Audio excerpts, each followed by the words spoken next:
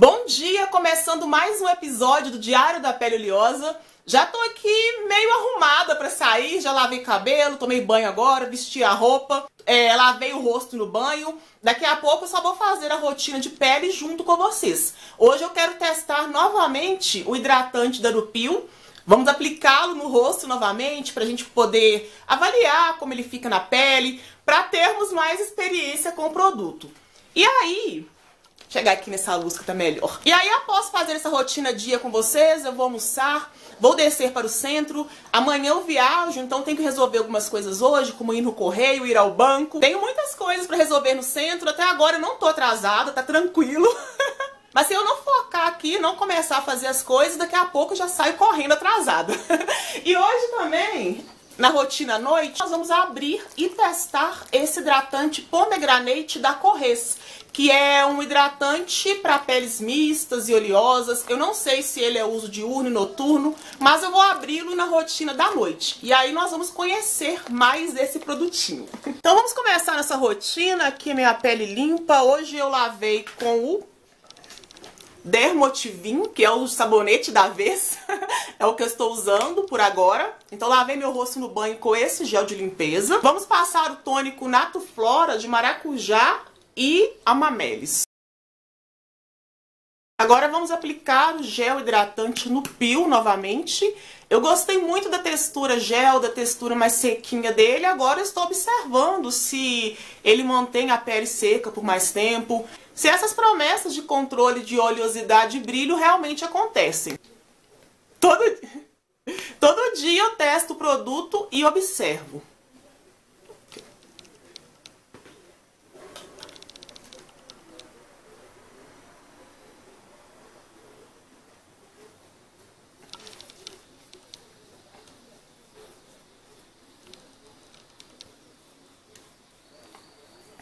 Bom que enquanto eu almoço, dá para o produto secar, sentar na pele e eu poder voltar e mostrar para vocês antes de fazer a maquiagem. Assim tem que passar o creme na área dos olhos, aquele Agiles, a vitamina C 20%.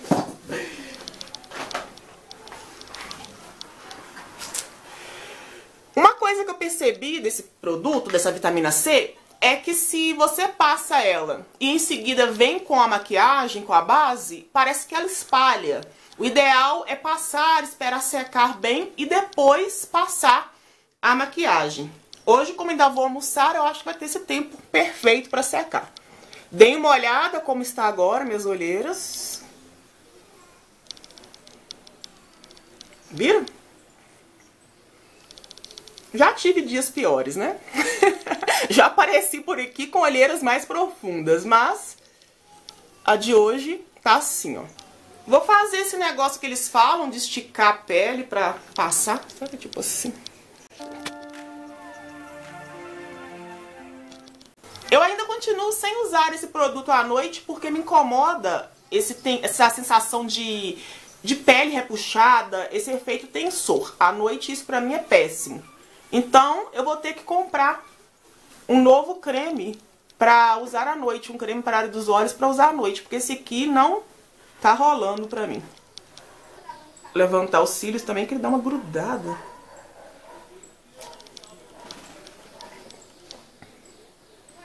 E é isso, ó. Observem que já já eu volto, vou almoçar. Quando eu voltar, esse produto já vai ter secado na pele. E hoje eu tinha planos de almoçar no centro, mas minha mãe tirou comida pra mim. E parece que tá tão bom. Tem abóbora, feijão, angu. Eu vou esquentar aqui no micro-ondas e já já eu mostro pra vocês.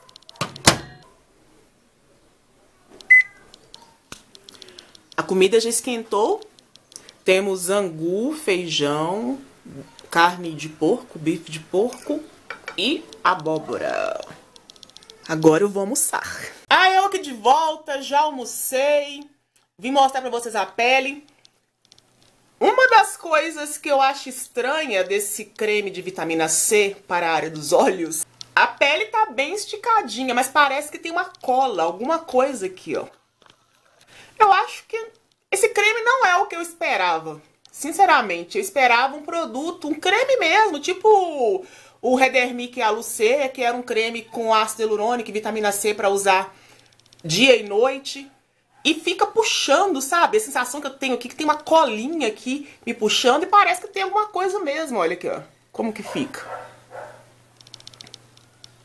Eu acho que eu só vou aproveitar esse produto pra usar como agora, antes da maquiagem, quando eu quero é, atenuar olheiras. Mas à noite eu não consigo ficar com isso aqui puxado. Já desisti disso. Foi uma compra que não... Sei lá. Tá muito cedo ainda, né? Pra, pra falar. Mas por enquanto, vocês estão vendo que não tá me agradando. Vou continuar testando. Realmente dá um disfarce, assim, nas olheiras, né? Nem sempre fica branco assim não, tá? Eu acho que hoje eu deixei escorrer um pouco aqui. Eu já apliquei outras vezes que não fica essa marcação branca. Isso aconteceu porque eu devo ter deixado escorrer. Mas esse efeito tensor, esse efeito que parece uma cola na pele, fica todas as vezes.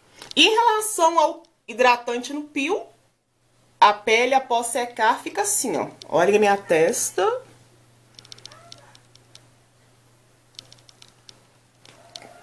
Ele seca e realmente deixa a pele, ó, bem sequinha. De volta, prontinha já pra sair. Fiz a pele com esse Erlicium com cor. O meu é esse da fórmula antiga, mas estou na expectativa de testar a nova fórmula. Dizem que ela é mais sequinha, né? Mais mate do que essa. Essa aqui, é, pra mim, é bacana. Eu gosto dessa, mas tem muita gente que reclama que ela não deixa a pele bem mate. Quando eu puder, eu quero testar sim a fórmula nova. Quero testar tanto desse com cor, quanto do um FPS 70 sem cor.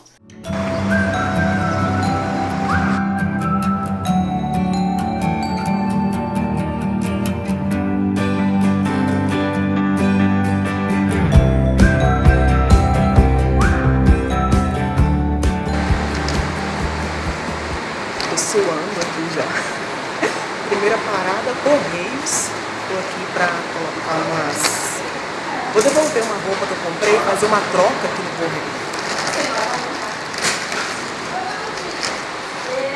calor. E hoje eu não vim correndo, na verdade eu vim andando normal, mas tá muito calor. O sol, aquele sol forte que arde assim na pele, aquele dia bem quente mesmo.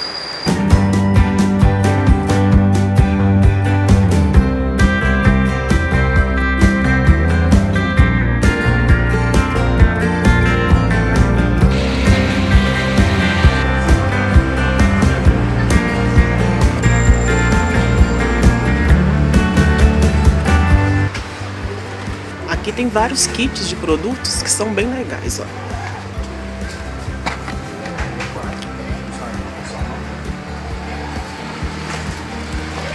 Acima de 3.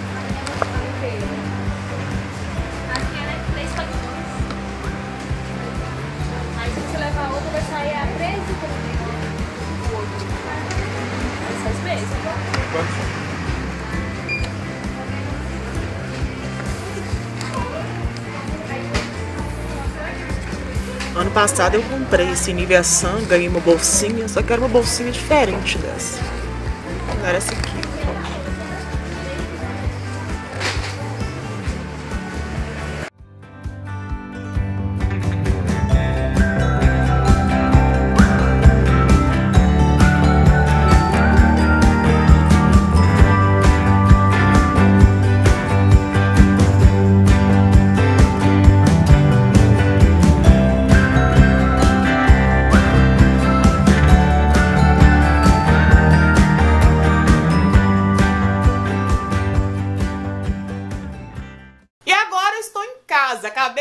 em casa. Hoje vocês viram que eu fui nos Correios, fui ao banco, fui na farmácia, em vários lugares. O centro hoje tava que tava agitado e muito calor, muito calor mesmo.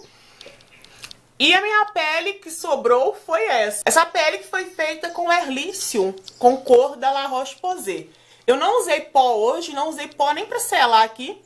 Essa pele tá sem pó, só mesmo com a, o filtro Erlicium. E o resultado, após horas e horas de andança, de calor, é essa pele aqui. Dá pra ver que a pele tá aquela pele, assim, com brilho, mas nada, assim... Poderia ser pior, já tive dias piores. Esse brilho aqui ainda não me deixa com vergonha, não. mas, assim, ainda tá ok. E agora vamos fazer o quê? Fazer um double close pra gente poder testar o pomegranate da Corris. É... Nem vou tomar banho agora, tá cedo ainda pra tomar banho. Eu acho que eu vou só tirar essa pele, tirar essa maquiagem com double close, aplicar o produto com vocês, que mais tarde eu tomo banho. A gente tava com o tempo tão fresquinho esses dias e hoje acabou o frescor e chegou o calor. E em dias mais quentes assim, eu prefiro tomar banho quase na hora de dormir, que aí eu já durmo com o corpo bem é, fresquinho. Agora são 5 para 7, 18h52. Nem escureceu ainda porque é horário de verão. Se eu tomar banho agora, na hora de dormir, eu tô toda suada de novo. Ó, a pele. Essa aqui. Óleo. Pra derreter esse filtro solar. Tirar essa máscara de cílios.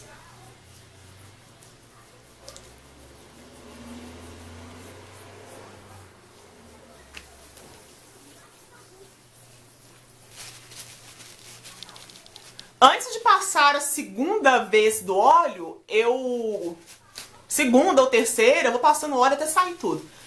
Eu tiro o excesso com papel higiênico, guardanapo, papel toalha, o que tiver aqui na frente.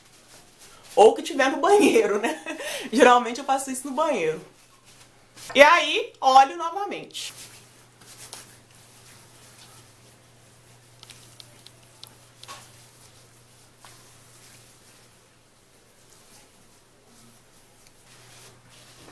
Primeira parte da limpeza dupla concluída, agora é a segunda parte, né? Double cleansing. Agora eu vou pegar o gel de limpeza e tirar esse óleo do rosto. E aí a pele vai ficar realmente limpa, porque o óleo é, tirou o filtro solar, tirou máscara à prova d'água. E agora com o gelzinho de limpeza eu vou tirar o óleo e as impurezas que ficaram na pele. Eu vou ali lavar e já volto. Prontinho, enxaguei o rosto. Agora eu vou passar o adstringente. Eu uso adstringente, tônico adstringente, duas vezes ao dia. Vocês viram que eu passei na primeira rotina e agora nessa. Mas aí vai de cada um. Tem gente que usa só uma vez ao dia. Alguns médicos é, indicam não usar diariamente. Mas para minha pele funciona bem usar diariamente. Se eu não uso diariamente, assim, nas duas rotinas. Se eu não uso, eu sinto que dá ruim pra mim depois. de espinhas. Eu prefiro então fazer essa limpeza bem completinha com adstringente todo dia. Mas isso vai de cada um. Por exemplo, se você passa adstringente duas vezes ao dia e sente que a sua pele tá ficando ressecada, tá ficando irritada, então pra você não é legal fazer assim. Você pode usar uma vez ao dia, ou dia sim, dia não. Depende muito também de qual é, tônico adstringente você usa. Talvez seja um tônico como aquele da Johnson Vermelho, que faz a pele arder. Então, assim, esses aí não dá pra usar sempre, não. Mas os que eu uso, eu consigo usar nas duas rotinas. É o que funciona bem pra mim. Horário de verão é engraçado, né? 7 e 10 já e tá esse sol. Aqui, ó, essa cor que tá aqui, essa luz diferente, meio amarelada, é o sol. Olha ali, ó. Como ele tá batendo na, na porta. Esse sol hoje vai até umas, será? 7h30, 7h40? hoje eu nem coloquei minha faixinha, tô sentindo falta dela. Pera aí que eu vou pegar. Agora sim, vamos continuar essa rotina. Eu estou aqui com o Corrês. Esse tempo todo eu deixei ele assim fechadinho, não abri. Apesar da curiosidade para saber como é, que cheiro tem. Embalagem bonita papel assim com relevo, bem bonito. Vamos abrir.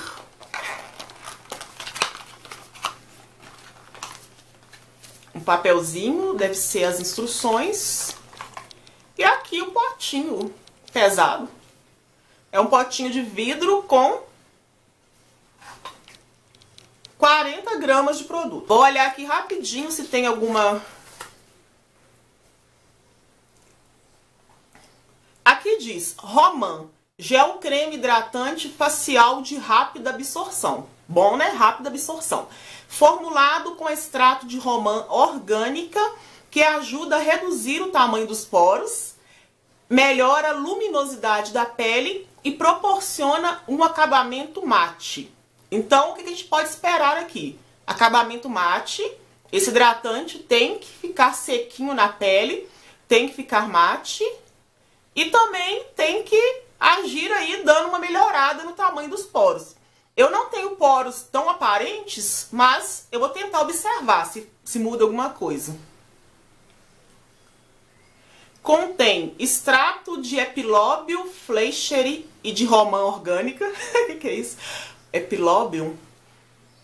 Óleo de jojoba e de abacate. Então ele tem alguns óleos vegetais na fórmula. Tem muita informação aqui, mas no dia que eu fizer a resenha oficial dele, eu vou falar tudo para vocês. É, lembrando que Diário da Pele Oleosa não é resenha.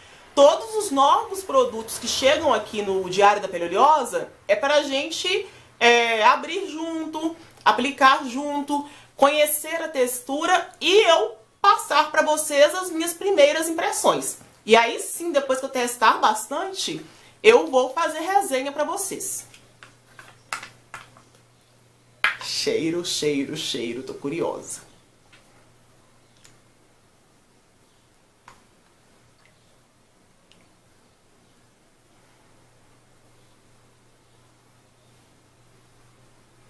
É um creme.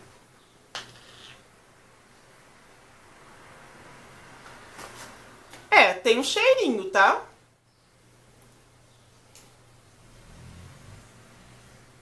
Vamos ver. Aqui, ó. É um gel creme, né? Textura gel creme.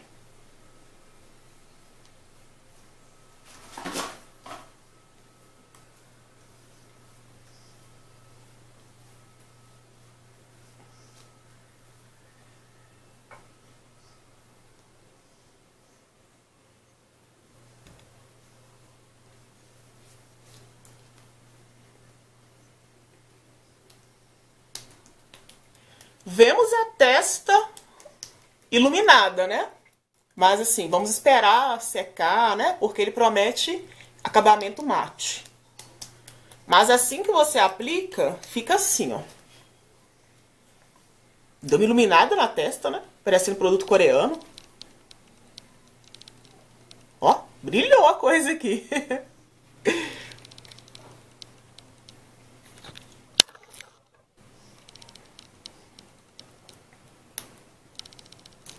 Vou esperar um pouquinho para ver como que vai ficar e já volto para falar com você. Voltei, acho que fiquei uns 15 minutos por ali, já tá até escurecendo agora.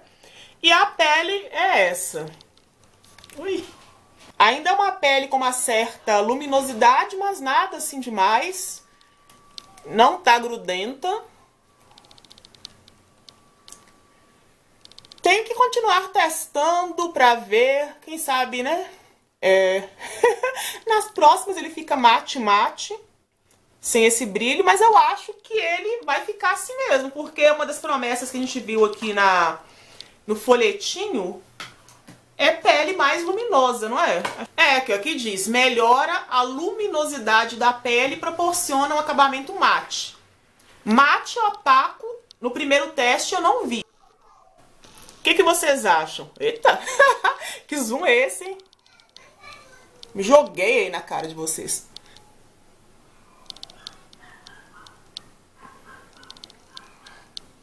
Ó, a pele tá com toque, toque seco.